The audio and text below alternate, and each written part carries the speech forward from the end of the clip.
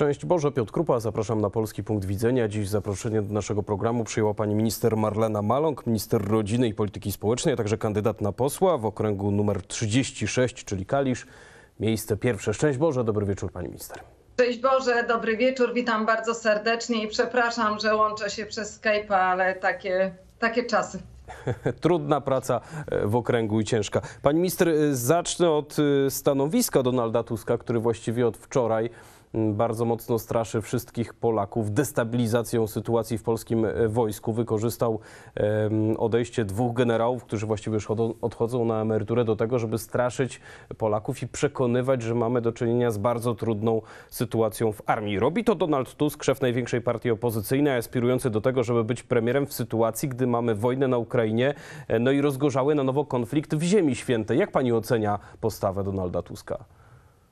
E, Szanowny panie redaktorze, to co Donald Tusk robił przez cały czas, kiedy miał, e, sprawował władzę, kiedy Platforma Obywatelska sprawowała władzę razem z PSL-em i teraz tak naprawdę te, ta agresja, która dominuje przez całą kampanię wyborczą za wszelką cenę, aby przejąć władzę wszelkimi sposobami, wywołując chaos, destabilizację. To świadczy o wielkiej nieodpowiedzialności, bo przede wszystkim dzisiaj, kiedy są bardzo trudne czasy i przecież y, wracam, ja wielokrotnie wracam tymi myślami, kiedy była pandemia. Dzisiaj za naszą wschodnią granicą dalej toczy się wojna. Widzimy, co też się dzieje na Bliskim Wschodzie, a Donald Tusk wykorzystuje sytuacje właściwie, które są opanowane, gdzie mm, władze państwa, pan prezydent, pan premier szybko podejmują odpowiedzialne decyzje, aby w kraju była stabilizacja i do tej stabilizacji y, dąży i ca- przez całe te trudne czasy y, tą stabilizację wprowadza i Prawo i Sprawiedliwość, Zjednoczona Prawica, a Donald Tusk ze swoją ekipą tylko cały czas jątrzy, cały czas podburza, a tak naprawdę powinien w końcu stanąć w prawdzie i niby obrońca demokracji, niby obrońca, e, niby obrońca e, wszelkich praw pracowniczych i powiedzieć, jak to zabierał kobietom, kazał pracować, kobietom rolniczką, kazał pracować 12 lat dłużej, jak to y, y, ludzie nie mieli pracy, ponad 2 miliony osób bez pracy, bez wsparcia rządowego. To tak naprawdę jest skandal. I dzisiaj stoimy przed wyborami, no, trzeba powiedzieć, najważniejszymi po 1989 roku. Polacy są bardzo mądrym narodem, bardzo odpowiedzialnym, dumnym narodem i chcą żyć w wolnej, suwerennej ojczyźnie.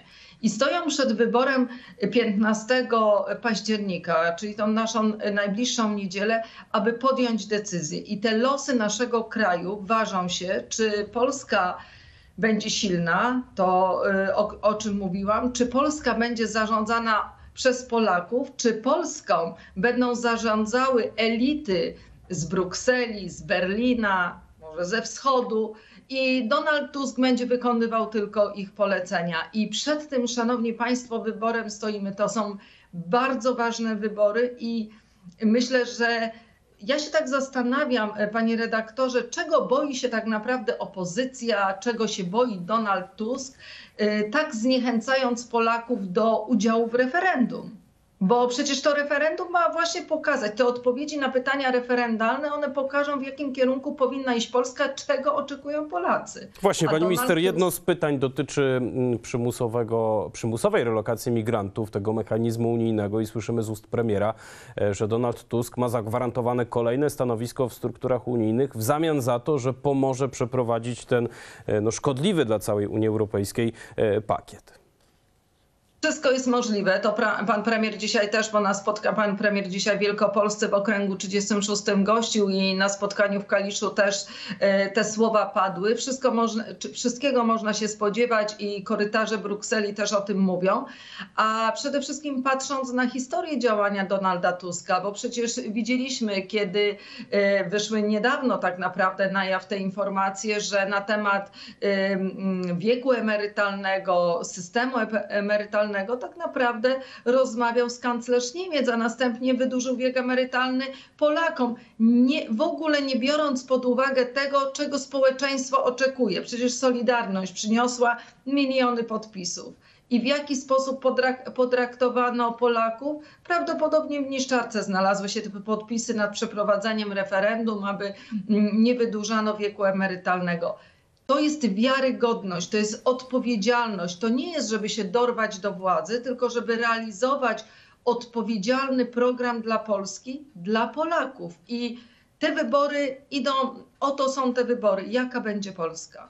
No właśnie, pani minister, a z tej perspektywy polityki społecznej państwa, rząd Prawa i Sprawiedliwości przez 8 lat y, uruchomił bardzo dużo programów y, społecznych. Teraz wszystkie właściwie partie opozycyjne, y, ci politycy, którzy jeszcze gdy to wprowadzaliście, krytykowali te rozwiązania, mówią, że wszystko utrzymają. Pani wierzy w te deklaracje. Mamy też weekendowy wywiad wiceszefa Solidarności, pana Tadeusza Majchrowicza, zastępcę przewodniczącego Komisji Krajowej NSZZ Solidarność, który mówi wprost, że jeżeli Platforma wróci do władzy, wrócą do, do władzy środowiska e, liberalne, to trzynastki, czternastki, świadczenie 800 plus zniknie e, z Polski. Panie redaktorze, powiem tak, że mam wielkie obawy i nie, ja osobiście nie wierzę, że, y, że jeżeli Platforma czy opozycja dojdzie do władzy, to te świadczenia będą utrzymane, bo przede wszystkim trzeba sobie odpowiedzieć, że dzisiaj to nie są to tylko świadczenia społeczne, tylko to są świadczenia społeczno-gospodarcze. Mało tego, na te, na te świadczenia i 800, plus, i dobry start, świadczenie matczyne, rodzinny kapitał opiekuńczy czy mm, dofinansowanie do opieki, e, opieki żłobkowej, a także program Maluch Plus, 13, 14 emerytury, godne waloryzacje. Na to muszą być konkretne środki. I te środki e, Prawo i Sprawiedliwość, od, e, odpowiedzialny rząd na trudne czasy znajduje, ale w jaki sposób? Tu musimy historycznie spojrzeć. Uszczelniany budżet, z którego za czasów Donalda Tuska, owszem, dobrze się żyło, ale zapytajmy się, komu się dobrze żyło? Elitom panom w białych kołnierzykach, którzy z budżetu państwa wyciągali pieniądze za, za przyzwoleniem polskiego rządu, a zwykli Polacy, polskie rodziny, gdzie rodzina jest siłą, gdzie jest tak naprawdę mm, w rodzinę należy inwestować, rodziny nie miały pieniędzy. Rodzinom mówiono, że nie wiedzą, gdzie są, e, gdzie jest przycisk,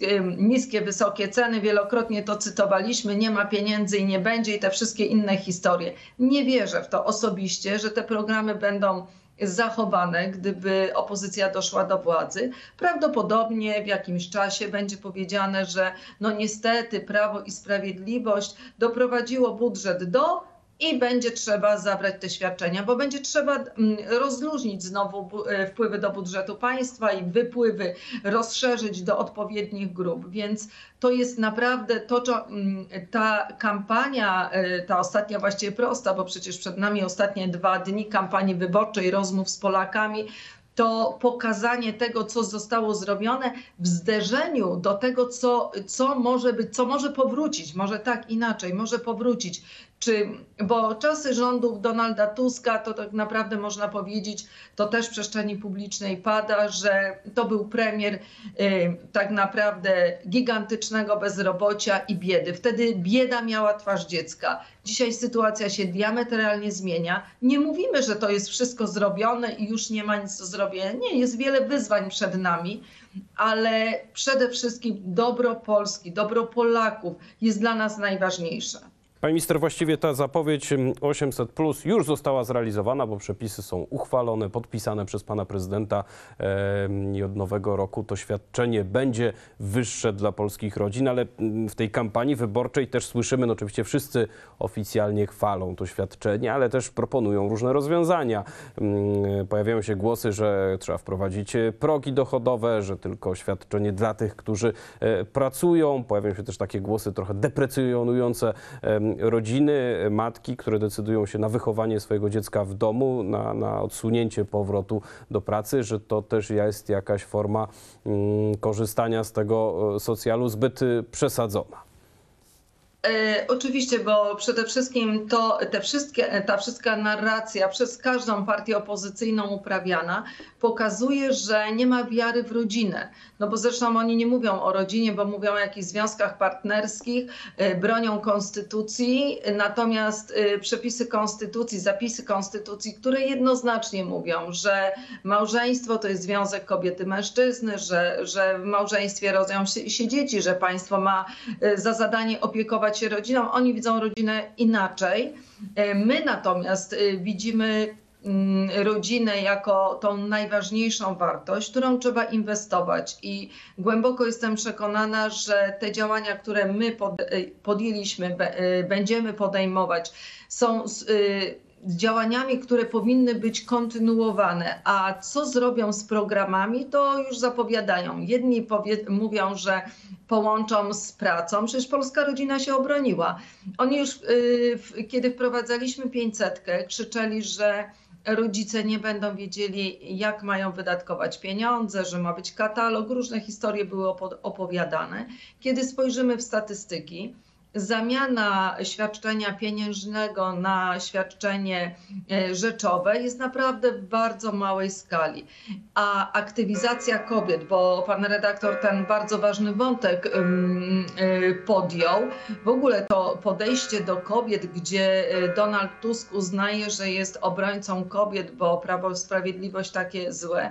Ja tutaj jakby swój głośny sprzeciw przeciwko temu, jako przede wszystkim jako kobieta, jako matka, matka, babcia, że w Polsce kobiety są szanowane y, przez Prawo i Sprawiedliwość z szacunkiem, z godnością, natomiast Donald Tusk powinien stanąć przed kobietami i powiedzieć przepraszam za to wydłużenie wieku emerytalnego, kiedy rolniczkom kazał o 12 lat dłużej pracować. Ale wracając jeszcze do aktywności kobiet i właśnie tego, w jaki sposób y, kobiety funkcjonują y, y, dzięki świadczeniu 500, plus, za chwilę 800. Plus. Aktywność zawodowa kobiet wzrasta, wskaźnik zatrudnienia kobiet wzrasta. Kobiety są, Polki są dobrze wykształcone, chcą łączyć pracę zawodową z życiem rodzinnym, to, co w tej polityce demograficznej jest do zrobienia i z czego to wynika, to trudne odbicie, żeby zmienić tą negatywną sytuację, no to są te niestabilne czasy dzikiej prywatyzacji,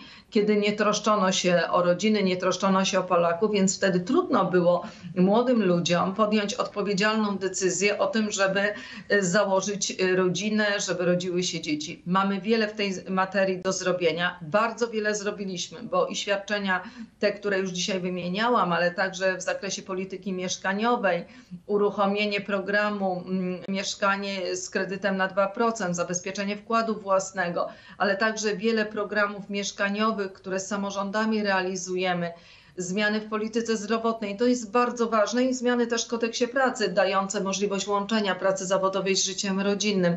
Wiele jest zrobionych, wiele przed nami. I to, czy będzie nam dane realizować tą misję, mm, misję działania dla Polski, dlatego żeby Polska była y, mm, suwerenna, żeby Polska nie stała w kącie Europy. No, Donald Tusk tego by chciał, żeby stała w kącie Europy, wykonywała polecenia, mm, polecenia Brukseli czy innych państw, a on z tego będzie miał apanarze i będzie sobie dobrze żył no i patrzył, jak Polacy żyją w trudnych czasach. Pani minister, ostatnie tygodnie to też e, wypłaty dodatkowych świadczeń e, dla emerytów. E, jak pani podsumuje tę kwestię? Wiarygodność, odpowiedzialność. Tak jak powiedzieliśmy, polityka senioralna, stabilna jesień życia jest konieczna, dlatego w tym roku waloryzacja kwotowo-procentowa w miesiącu kwietniu wypłacone 13 emerytury i 14 emerytury. Zakończyliśmy wypłaty w miesiącu wrześniu. Wysokość 14 emerytur była zwiększona. Była to kwota 2650 zł. Zadanie jest wykonane. Przede wszystkim dlaczego taka decyzja była podjęta?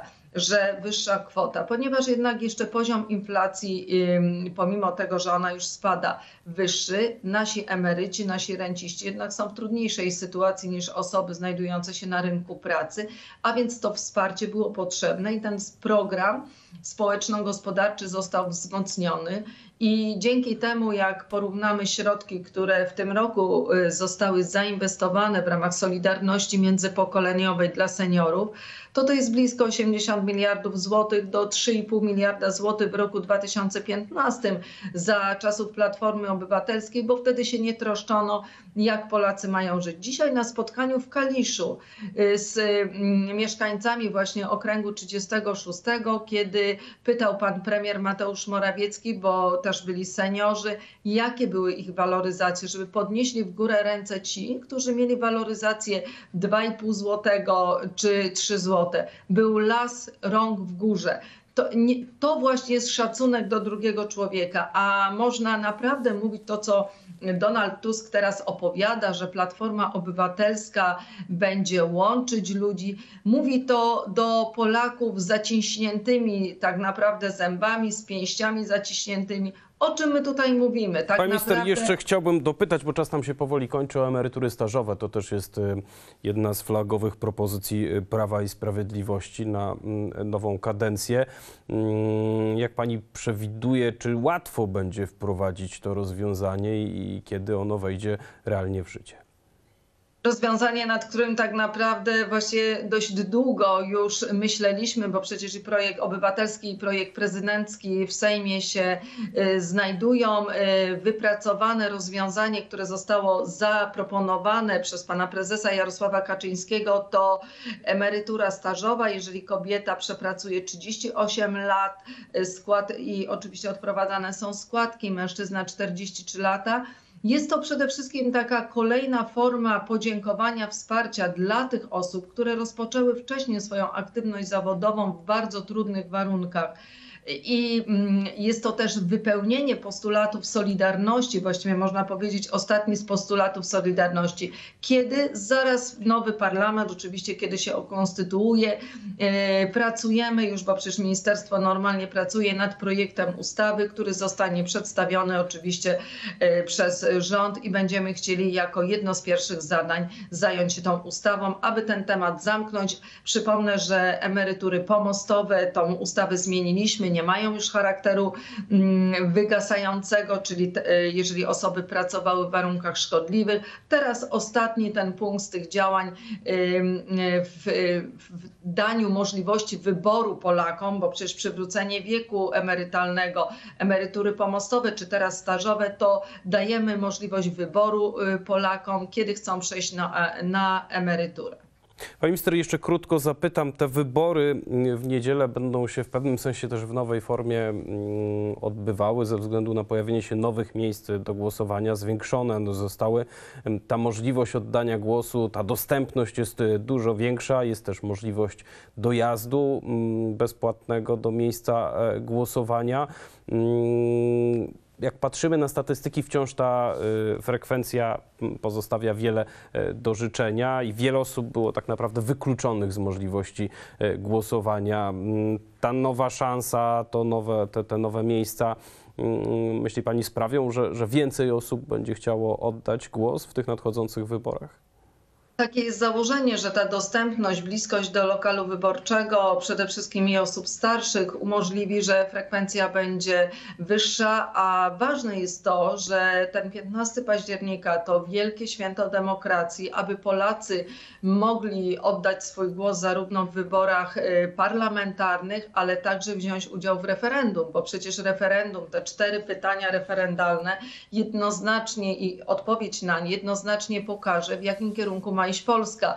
Czy ma być majątek wyprzedawany, e, tak jak to e, robił Donald Tusk, jego ekipa, 60 miliardów złotych, nie wiadomo gdzie się znalazło. Czy wiek emerytalny to ten właśnie e, wiek ma być wydłużony, czy granica wschodnia ma być niebezpieczna, a więc oczywiście oraz oczywiście migrację, bo to jest bardzo ważny temat dzisiaj. My w referendum mówimy jedno jednoznacznie, że prosimy Polaków, aby wzięli udział w wyborach, aby wzięli udział w referendum i te cztery razy nie na odpowiedź na pytania referendalne, one zagwarantują Polsce bezpieczeństwo.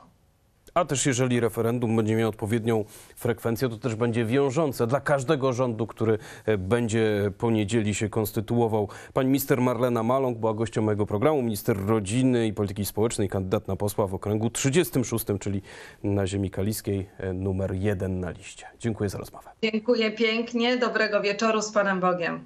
Z Panem Bogiem, a polski punkt widzenia jutro o stałej porze. Do zobaczenia. Dobranoc.